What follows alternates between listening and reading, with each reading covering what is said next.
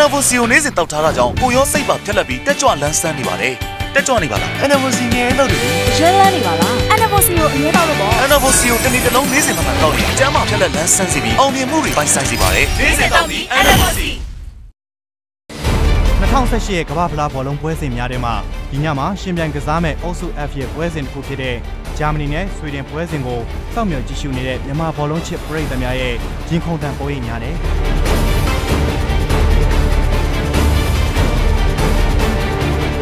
သက်ချင်များကိုဘောလုံးပွဲမစတင်ခင်မှာ11 Progressing Facebook Page မှာဓာတ်ရိုက်ထုတ်လင့်တင်ဆက်ပေးတော့မှာဖြစ်လို့စောင့်မျှော်ကြည့်ရှုဖို့ဖိတ်ခေါ်နေပါတယ်ဒီစီဇန်ကို11 Progressing နဲ့ Anna Bonsi တို့မှပူးပေါင်းစီစဉ်တင်ဆက်ထားတာဖြစ်ပါတယ်